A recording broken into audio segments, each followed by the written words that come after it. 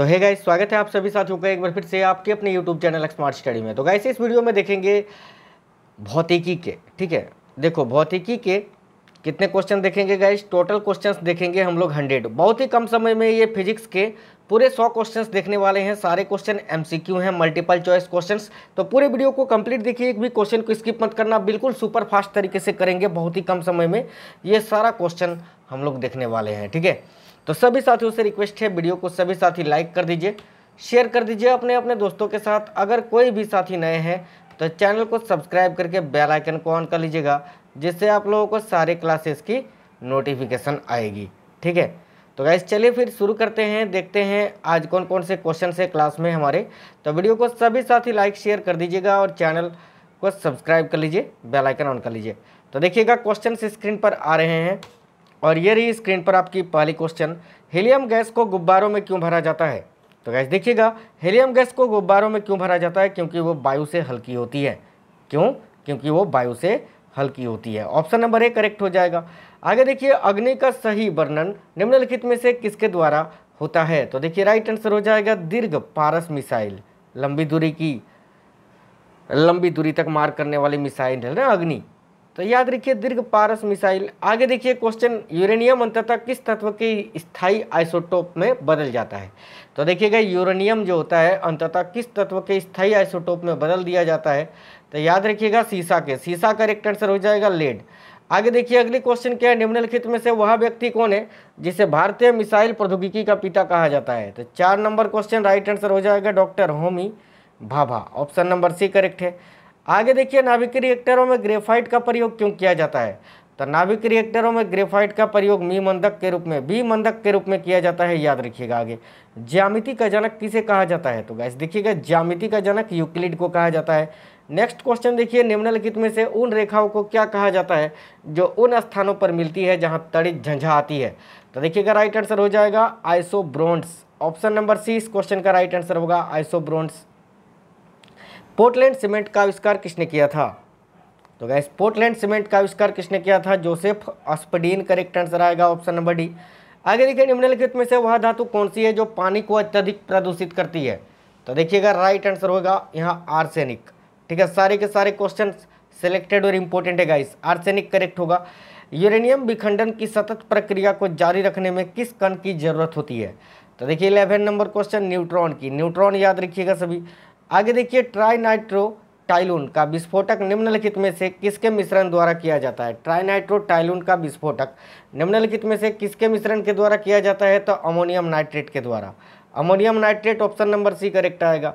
सौर प्रणाली की खोज किसने करी थी? तो गैस देखिएगा, सौर प्रणाली की खोज करी थी कैप्लर ने। कैप्लर करेक्ट है। नेक्स्ट क्वेश्चन ऑटोहन किस आविष्कार के लिए प्रसिद्ध है? ऑटोहन ने किसका आविष्कार किया था? तो गैस ऑटोहन ने एटम बम यानी परमाणु बम एटम बम का आविष्कार किया था ऑप्शन नंबर बी करेक्ट है आगे। तारकोल वाली सड़कों पर टूट फूट तब होती है, जब उनमें क्या होता है? तो देखिए, जो तारकोल वाली सड़क होती हैं, उनमें टूट फूट तभी होती है, जब सड़क पर पानी स्थिर हो जाए तब। जब सड़क का पानी स्थिर हो जाता है सड़क पर तब ऑप्शन नंबर बी करेक्ट होगा। पिक्नोमीटर नामक उपकरण का प्रयोग किसे मापने के लिए किया जाता है? तो गैस देखिएगा, पिक्नोमीटर नामक उपकरण का प्रयोग जो है, उससे क्या मापा जाता है? तो घनत्व। ऑप्शन नंबर बी डेंसिटी आगे देखिए, भारत की मिसाइल अग्नि टू किस प्रकार का मिसाइल है? तो भारत की जो मिसाइल है, अग्नि अग्नि सीरीज़ जो है, ये अग्नि वन अग्नि टू ये पृथ्वी से पृथ्वी पर मार करने वाली मिसाइल है, याद रखिएगा। आगे देखिए, निम्नलिखित में से सजीवन उत्पन्न करने वाली वह कौन सी तकनीक है, जिसमें एक प्रतिबिंब दूसरे में बदल जाता है?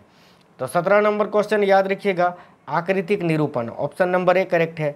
आगे नेक्स्ट क्वेश्चन देख लीजिए, खगोल भौतिकी के लिए भारत में जन्मे किस वैज्ञानिक को नोबेल पुरस्कार प्रदान किया गया है? तो खगोल भौतिकी के लिए भारत में जन्मे किस वैज्ञानिक को नोबेल पुरस्कार प्रदान किया गया है?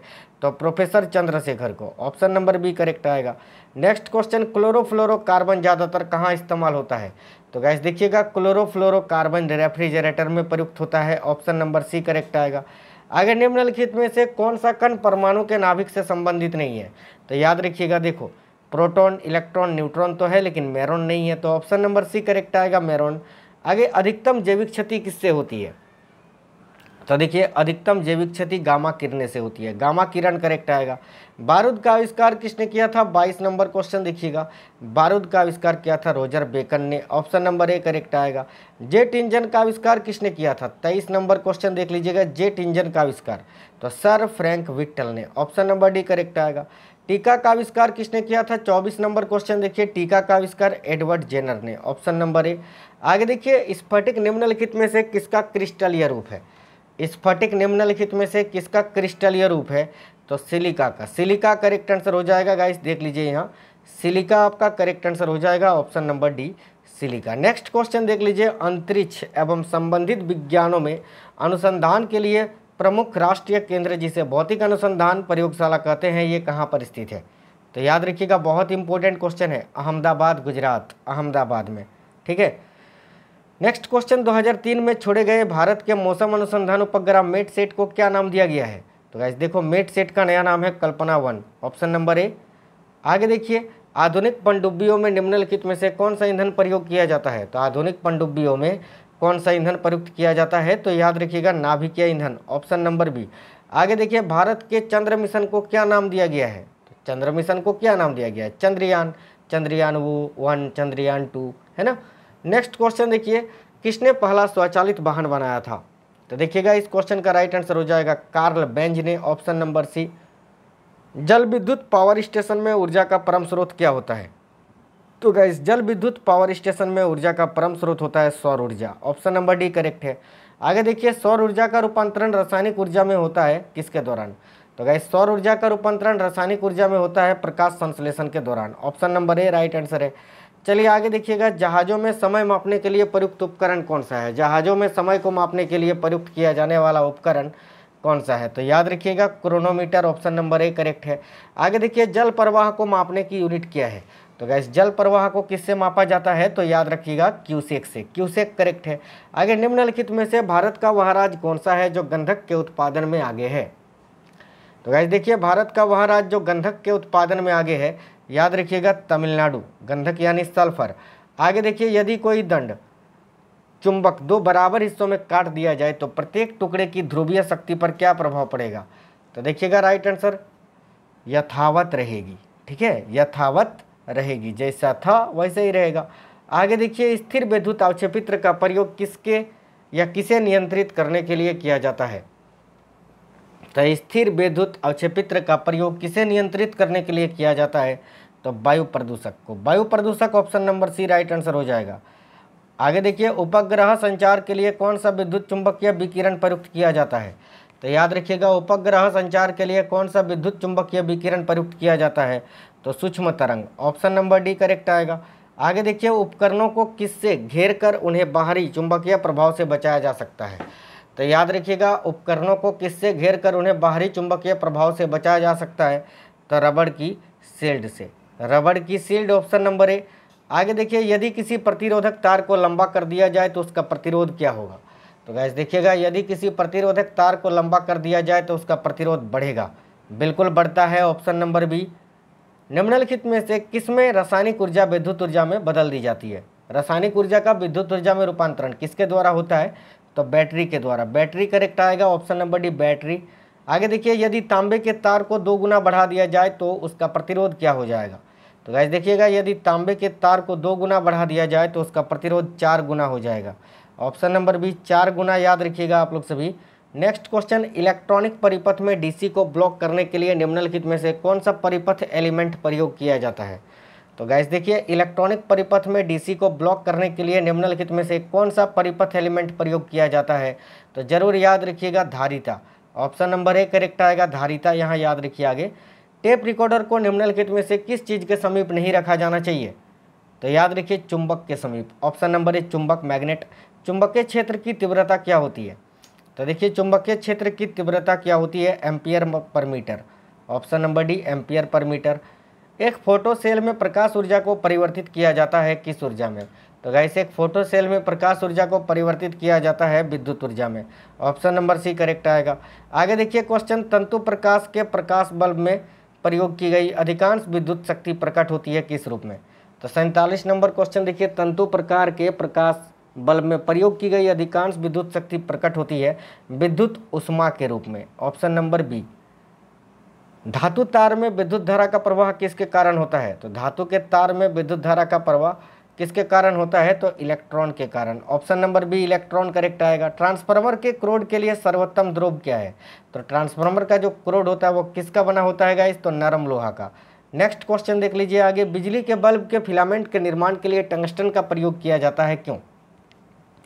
तो देखिए, क्योंकि इसका गलनांक बहुत उच्च होता है, ऑप्शन नंबर सी करेक्ट आएगा।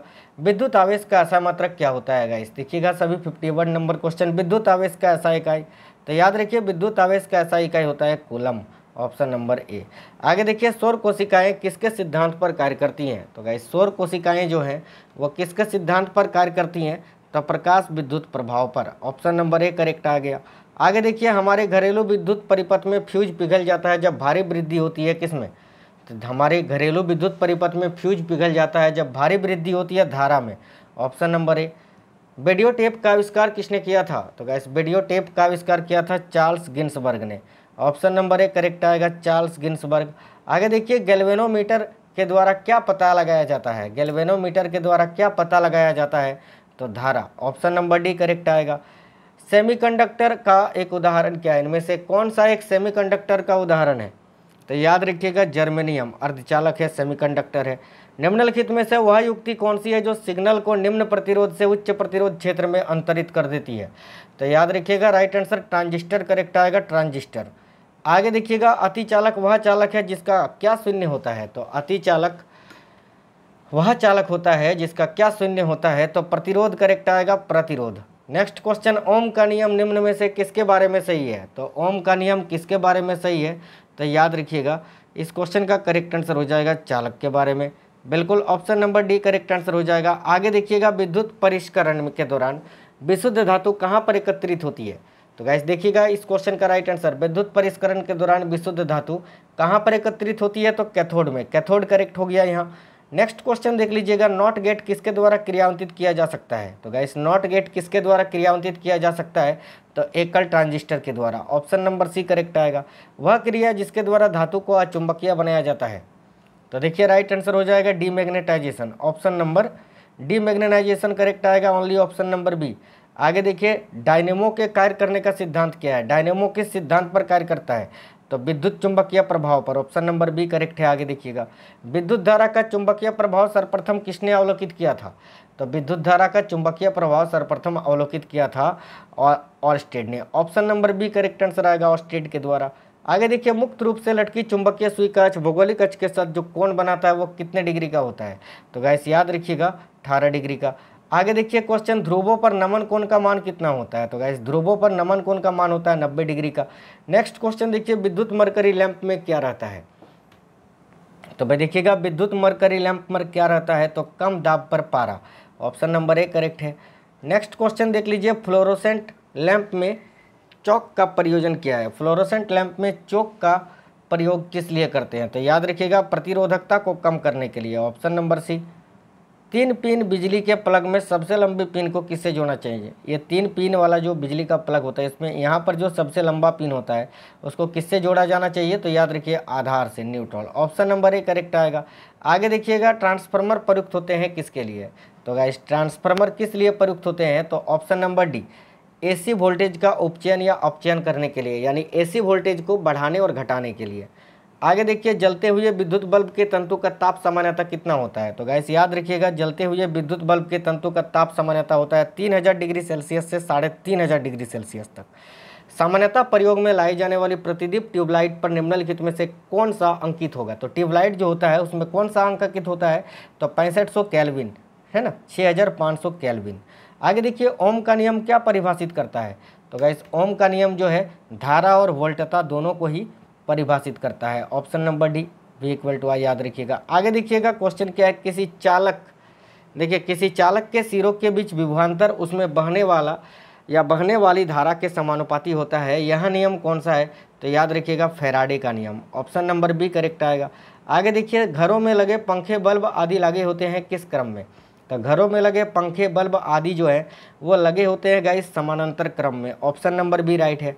आगे देखिए, आदर्श वोल्ट मीटर की प्रतिरोधकता कितनी होती है? तो देखिएगा, आदर्श वोल्ट मीटर की प्रतिरोधकता कितनी होती है? तो असीमित। असीमित यानी इन्फिनिटी आगे देखिए, जब कांच की छड़ को रेशम से रगड़ा जाता है तो छड़ क्या होता है? तो जब कांच की छड़ को रेशम से रगड़ा जाता है तो छड़ जो है वह धन आवेशित हो जाती है। ऑप्शन नंबर बी राइट हो गया। कौन सा यंत्र समुद्र से ऊपर की वस्तुओं को देखने के लिए पनडुब्बी में प्रयोग किया जाता है? तो कौन सा यंत्र है जो समुद्र से ऊपर की वस्तुओं को देखने के लिए पनडुब्बियों में प्रयोग किया जाता है गाइस तो देखिएगा राइट आंसर हो जाएगा periscope option number C correct है. आगे देखिए, श्वेत प्रकाश को नली में कैसे पैदा करते हैं? तो याद रखिएगा, तंतु को गर्म करके. ऑप्शन नंबर बी करेक्ट है. आगे देख लीजिए नेक्स्ट क्वेश्चन संचार में प्रयुक्त फाइबर ऑप्टिकल केवल किस सिद्धांत पर कार्य करता है? तो संचार में प्रयुक्त होने वाला फाइबर ऑप्टिकल जो होता है, प्रकाश के पूर्ण आंतरिक परावर्तन, यानी total internal reflection of light पर कार्य करता है। ऑप्शन नंबर डी करेक्ट आएगा। आगे देखिए दृष्टि दोष मायोपिया वाला व्यक्ति कहाँ की वस्तुओं को देख सकता है? तो मायोपिया यानी निकट दृष्टि दोष और निकट दृष्टि दोष में नज़दीक की वस्तु यानी निकट की वस्तु को स्पष्ट रूप से देख सकता है। तो ऑप्शन नंबर ए करेक्ट आएगा। आगे देखिएगा, पानी में लटकाकर बैठे हुए व्यक्ति को उसका पैर जो होता है मुड़ा हुआ और छोटा दिखाई पड़ता है। किसके कारण? तो ये तो प्रकाश के अपवर्तन के कारण ऑप्शन नंबर ए राइट होगा। आगे देखिए, एक काटा हुआ हीरा क्यों जगमगाता है? तो वैसे काटा हुआ हीरा पूर्ण आंतरिक परावर्तन के कारण जगमगाता है। ऑप्शन नंबर सी करेक्ट आएगा। चंद्र ग्रहण किस दिन घटित होता है? तो गैस चंद्र ग्रहण जो होता है, हमेशा पूर्णिमा के दिन घटित होता है और सूर्य ग्रहण हमेशा अमावस्या के दिन। आगे देखिएगा, पूर्ण सूर्य ग्रहण का अधिकतम समय कितना होता है? तो पूर्ण सूर्य ग्रहण में अधिकतम कितना समय लगता है? तो 460 सेकंड का, याद रखना। आगे देखिए, निम्नलिखित में से कौन सा सिद्धांत प्रकाश के तरंग प्रकृति की पुष्टि करता है? तो देखिएगा, व्यतीकरण का सिद्धांत, ऑप्शन नंबर बी करेक्ट होगा। किसी अवरोध की कोर से प्रकाश का मुड़ना क्या कहलाता है? तो गाइस किसी अवरोध की कोर से प्रकाश का मुड़ना क्या कहलाता है गाइस तो विवर्तन। Option number B right answer हो जाएगा। आगे देखिए, प्रकाश के विद्युत चुंबकीय स्वरूप की खोज किसने करी थी?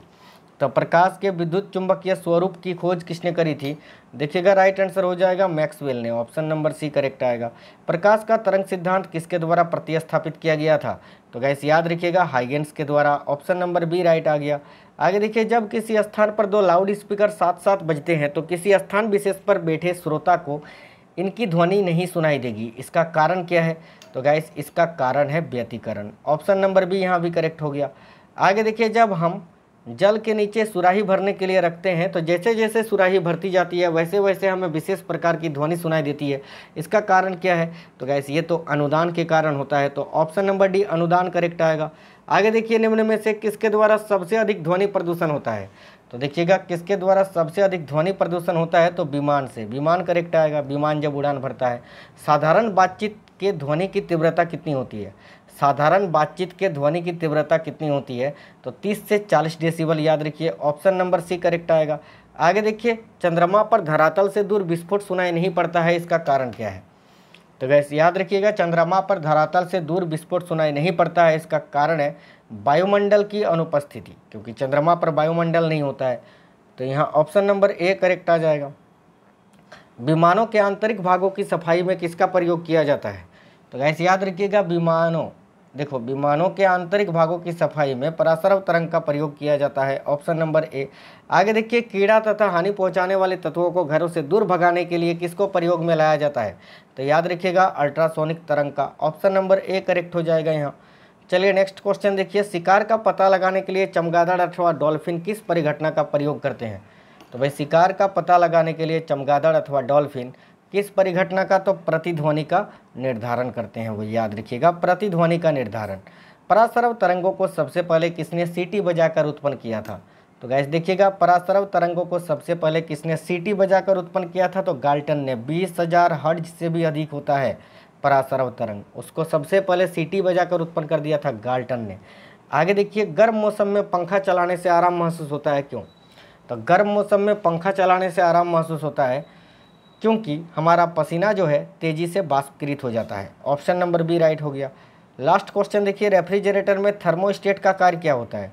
तो गैस रेफ्रिजरेटर में थर्मोस्टेट का कार्य होता है एक समान ताप को बनाए रखना। ऑप्शन नंबर सी करेक्ट हो जाएगा इस क्वेश्चन के लिए। तो गैस ये वीडियो तो ख़त्म हो गया। पूरे हंड्रेड क्वेश्चन मैंने कराया।